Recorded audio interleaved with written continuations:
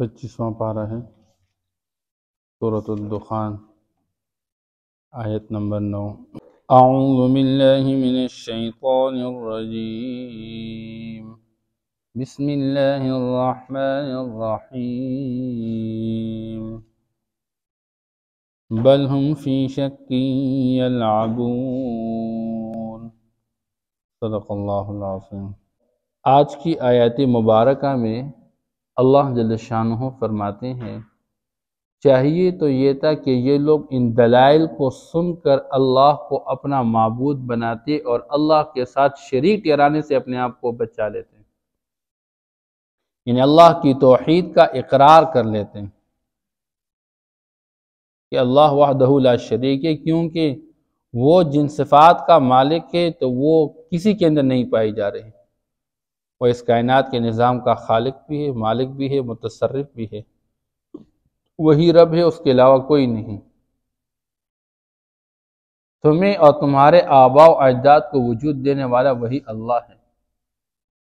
लेकिन बजाय इकरार करने के अल्लाह जैसे फरमाते ये लोग शक में पढ़कर खेलते रहते हैं।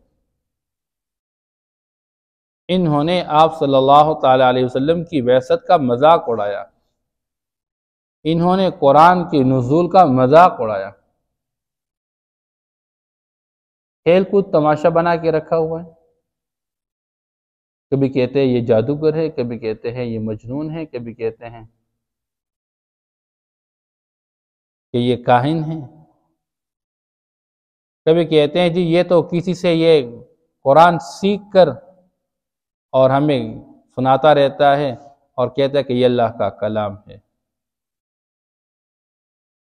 तो अल्लाह फरमाते हैं, ये इस पैगंबर के बेसत और कुरान के नज़ुल के हवाले से और मौत के बाद दोबारा ज़िंदा होने के अतबार से ये शक में पड़े हुए और खेल रहे हैं। पर तकब योमतमा उबिदुखान मुबीन, ए मेरे पैगंबर आप इंतज़ार कीजिए, कोई मसला नहीं। इन्होंने तो खेल कूद तमाशा बना के रखा हुआ है, ये शक में मुबतला है, इनको यकीन नहीं आ रहा।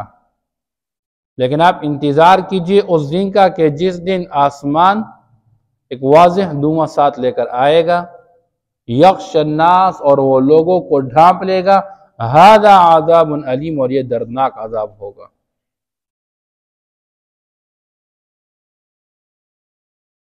अब इससे मुराद कौन सा धुआँ है? एक राय ये है कि क्यामत की निशानियों में से एक निशानी ये भी है कि जिस तरह आप सल्लल्लाहु अलैहि वसल्लम ने अहादीस के अंदर बयान फरमाया है कि दज्जाल का खरूज होगा, याजूज और माजूज का खरूज होगा दाबतुलअद का खरूज होगा, सूरज का बजाय मशरक के मगरब से तुलू होगा। तो इसी तरह क़यामत के करीब एक क़यामत की निशानी ये होगी कि आसमान से एक धुएँ का जहूर होगा और जो सारे लोगों को डांप लेगा। उस धुएँ का असर मोमिनों पर इस दर्जे होगा जिस दर्जे बंदे को जुकाम लग जाए।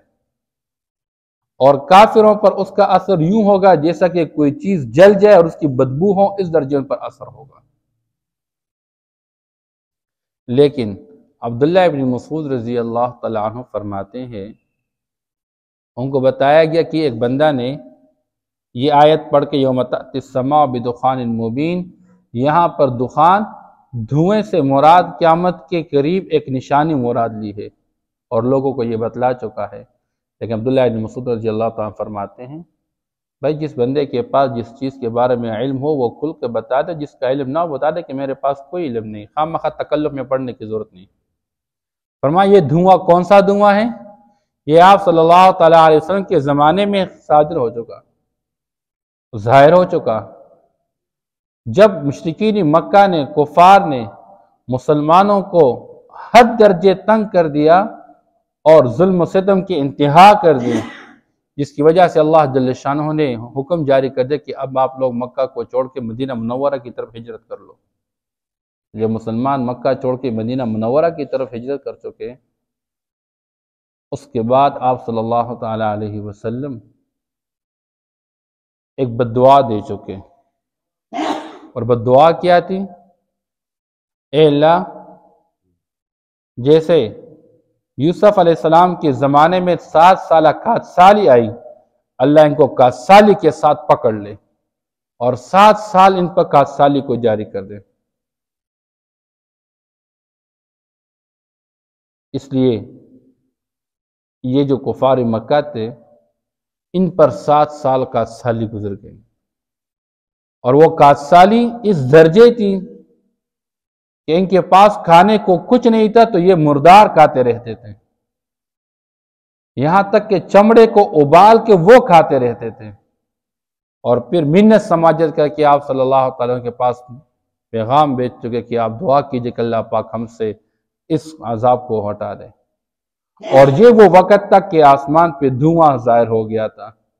इसलिए ये निशानी दुनिया के अंदर ज़ाहिर हो चुके हैं। इसलिए आप सल्लल्लाहु अलैहि वसल्लम के कुछ जो निशानियाँ बयान किए, कुछ उसमें ज़ाहिर हो चुकी। मिसाल के तौर पर कमर। अब इंशक कमर कमर दो टुकड़े हो गया, चाँद दो टुकड़े हो गया। ये आप सल्लल्लाहु के ज़माने में ये निशानी वाजिफ हो गई। इस तरह ये निशानी आसमान पे धुएँ का ज़ाहिर हो जाना, ये निशानी वाज हो चुकी है आप सल्लल्लाहु अलैहि वसल्लम के ज़माने के अंदर जब कासाली आई हुई थी। फिर आप सल्लल्लाहु अलैहि वसल्लम ने उन जालिमों के लिए दुआ की और अल्लाह ने उस कासाली को ख़त्म कर दिया। इसलिए वो कहने लगे, अल्लाह फरमाते यक्षनास के वो धुआँ सारे लोगों को ढांप लेगा, हाजा आदाब अलीम, ये दर्दनाक आदाब होगा, और अब मनकशिफ आदाब इन्ना मुमिनून। और ये लोग कहेंगे ए, हमारा रब, हमसे इस आजाब को हटा दीजिए, अब हम ईमान लाने वाले हैं। लेकिन अल्लाह जलशान फरमाते हैं, अन्ना लहमुजिक्रा कहाँ से ये लोग नसीहत हासिल करेंगे इस कुरान से? इस पैगंबर की बातों से कहा ये नसीहत हासिल करेंगे? वक़द जाहम रसूल मुबिन हालाँकि इनके पास खुल के बयान करने वाला पैगंबर आया हुआ है। इन्होंने उस पैगंबर का बात मानने की बजाय मज़ाक उड़ा के, वतवल मतवल उससे रोगरदानी की। वकाल मजनून, और कहने लगे, ये तो सिखलाया हुआ है, इसको कोई बंदा सिखलाता है तो ये सिकलाया हुआ है, और मजनून इस पर जुनून और पागलपन तारी है। ये अल्लाह जल शाह ने कुरान पाक के अंदर वो हकीकत बयान फरमाई है। जिसका दुनिया ने एक मिसल देखा था मूसा सलाम के ज़माने में। कहते रहते थे, जब अल्लाह जलशन उनको पकड़ लेते और आज़ाब मुबतला कर लेते हैं कभी खून के आज़ाब में, नौ किस्म के आज़ाब, कभी कादसाली में तो जब आज़ाब में मुबतला किए जाते, आके मूसा सलाम के पास फरियाद करते मिन समाज करते, ए मूसा, अपने रब से मान लो, इस मरतबा हमसे यह अजाब हटा ले बस आइंदा के लिए हम कभी आपकी नाफरमानी नहीं करेंगे। हम पक्के मोमिन बन जाएँगे, ईमान वाले बन जाएँगे। लेकिन जू ही अल्लाह जल शानों को अजाब से हटा लेते हैं। अब अजाब को हटाने के बाद, ये पुर, उसके बाद दोबारा उसी नाफरमानी में लग जाते, अल्लाह का मुनकर बन जाते, अल्लाह के साथ शरीक ठहराते।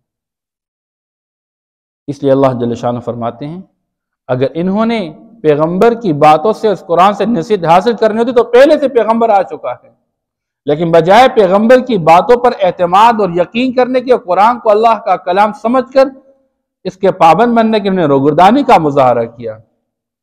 और उल्टा ये कहने लगे कि ये अल्लाह की तरफ़ से इसको कलाम नहीं आ रहा है। ये तो जाके फला फला बंदों के पास बैठ के कुछ अजमी लोग हैं कुछ गुलाम हैं उनसे ये इस बा, इन बातों को सीख के और हमारे सामने सुनाता रहता है। और कहने लगे ये पागल हैं। और ये क्यों कह रहे थे? कि आप सल्लल्लाहु वसल्लम समझाते रहे इनको कि माबूदी बरहक एक अल्लाह है, उस अल्लाह के सिवा कोई माबूद बनने का मुस्तक नहीं है। किसी को माबूद बनाया जाए, ये जायज़ और हलाल ही नहीं है। इस पर उनको तकलीफ़ होती थी कि हमारे इतने माबूद हैं, हमारे अबा जिनकी बात करते थे, क्या ये किसी काम के नहीं है? इसलिए इस बात करने की वजह से आप सल्लल्लाहु अलैहि वसल्लम की तरफ़ मजनून की नस्बत करते थे। ये मजनून है। आप सल्लल्लाहु अलैहि वसल्लम समझाते रहते कि भाई तुमने मरना है, मौत के बाद दोबारा तुम्हें उठाया जाएगा। तुमसे हिसाब किताब लिया जाएगा, जन्नत है, जहन्नम है। ये लोग कहते ये पागल है। एक मरतबा बंदा मर जाए रेजा रेजा हो जाए, कौन दोबारा उसको ज़िंदा करेगा? कैसे ये मुमकिन है? इसलिए आप सल्लल्लाहु अलैहि वसल्लम की तरफ़ जुनून की नस्बत करते थे। तो अल्लाह जलशान फरमाते हैं, इन्ना काशिफुल आदाब खलील याद रखो हम तो इस अजाब को हटाने वाले हैं पैगंबर की दुआ की बरकत से। लेकिन याद रखो, कलीलन थोड़ी मुद्दत के लिए। इन नकुमादून इधर हम अजाब हटा लेंगे और तुम्हारा हाल ये कि तुम वापस दोबारा लौट के अपने कुफर की तरफ़ इसका अर्तकाब करने लग जाओगे। इंसान का मिजाज है। इसलिए कुरान में अल्लाह जलशान ने एक शिकवा के तब बयान फरमाया। ये लोग उस जमाने के अंदर किश्ती में सफ़र करते रहते थे। सामान तजारत लेकर चलते रहते थे। तो जब समंदर में सफ़र करते हुए तूफ़ान आ जाता और इनके अपने डूबने और गर्क होने का खतरा हो जाता तो एक अल्लाह को पुकारते फिर सब कुछ भूल जाते। सारे महबूद भूल जाते, क्योंकि पता था कि किसी काम के है नहीं। बचाने वाला एक अल्लाह है। लेकिन जू ही अल्लाह जल्शानु उनको आफियत के साथ सफ़र पूरा करा लेते और ये समंदरी सफ़र से फारग हो जाते फिर वापस अपने शिरक में मुबतला हो जाते थे।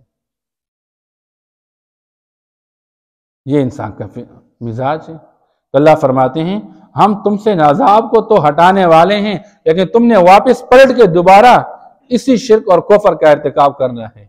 योम नबतशुलबतशतल कुबरा। और याद रखो, जिस दिन हम पकड़ेंगे और मज़बूत गिरफ्त करेंगे इन नामुंतमून फिर उस दिन हम तुमसे इंतकाम लेने वाले हैं। और अल्लाह ने वो इंतकाम लिया है। वो कौन सा इंतकाम? वो बदर के मैदान में अल्लाह ने इंतकाम लिया इनसे। इनके सत्तर सदारान कुरैश थे उनको पकड़ा गया और घसीटा गया और उनको कुएँ के अंदर डाल दिया गया। इसलिए आप सल्लल्लाहु अलैहि वसल्लम ने, उन तमाम सरदारान कुरैश, आप सल्लल्लाहु अलैहि की आदत मुबारक थी। कहीं पर जब मैदान में चले जाते और फतह हासिल हो तो तीन दिन रहते थे तीसरे दिन वहाँ पर एक कुआँ था, जिसके अर्गे कोई दीवार नहीं थी। उस कुएँ के अंदर इनको डाल दिया गया और आप सल्लल्लाहु अलैहि वसल्लम कुएँ के किनारे खड़े होकर फरमाने लगे, या फला बिन फला, ए फला बिन फला, ए फला बिन एक एक का नाम लेकर, हल वजत तुम मा वाद रबुकुम हक तुमने अपने रब के वादे को सच्चा पा लिया? हमारे साथ हमारे रब ने जो वादा किया था और हमने सच्चा पा लिया। अल्लाह ने सच्चा करके दिखा दिया। आज अल्लाह ने हमें फतह नसीब फरमा दी। तुम बताओ, तुम्हारे साथ वादा था आजाब का? तुम्हारी मौत आते ही तुम पर आजाब जारी हो जाएगा। अब बताओ क्या हाल है? तुम रज़ी फरमाने लगे, अल्लाह के रसूल, ये तो कुएँ के अंदर मुर्दे पड़े हुए, आप इनसे खिताब कर रहे हैं? फरमाए ए उमर तो इनसे ज़्यादा सुनने वाला नहीं है। फ़र्क इतना है कि तू जवाब देने पर कादिर है और ये जवाब देने पर कादिर नहीं है। तो जब ये बाज नहीं आ रहे थे, अल्लाह ने उनको पकड़ लिया और कितने? तीन सौ तेरह बंदों के ज़रिए अल्लाह ने पकड़ लिया। बावजूद के असलाह की कमी, अफराधी कुत की कमी साव सामान की कमी, और इनके पास कुत और ताकत इससे मुसलमान जब मैदान में उतरता है, अल्लाह का नाम लेकर उतरता है। मुसलमान अल्लाह को साथ लेकर मैदान में उतरता है। और आज सबसे बड़ी मुसीबत ये आ गई कि मुसलमान को भी दुनिया वालों की तरह अपने टैंक और तोप और एटम बम पे एतमाद हो गया, जिसकी वजह से अल्लाह की मदद साथ नहीं होती। बावजूद ये कि एटमी कुत का ताकत और की ताकत मौजूद है, इसका मालिक भी है, लेकिन दुश्मन का रौब दिलों में पड़ा हुआ है। इसलिए आप सल्लल्लाहु अलैहि वसल्लम ने एक मौके पर फरमाया तुम्हारा क्या होगा उस वक्त? जैसे तुम प्लेट पर एक दूसरे को बुलाते रहते हो, ये दुनिया वाले एक दूसरे को तुम्हारे खिलाफ बुलाते रहेंगे। आओ, आज इस मुल्क की बारी, इन पर हमला करते आओ, इनकी बारी, इन पर हमला करते हैं। अभी इन पर हमला करते हैं। सारे मिलकर तुम पर हमला करते रहेंगे। क्यों अल्लाह के रसूल, हम कम होंगे, तोड़े होंगे? नहीं। समंदर से, के जाग से भी ज़्यादा तुम्हारी तादाद बहुत ज़्यादा होगी। लेकिन दिलों में दुनिया की मोहब्बत होगी और मौत से कराहत होगी। जिसकी वजह से दुश्मन का रौब दिलों में बैठा हुआ होगा। लालच में आके, दबाव में आके उनकी तमाम बातों को मानने के तैयार होंगे।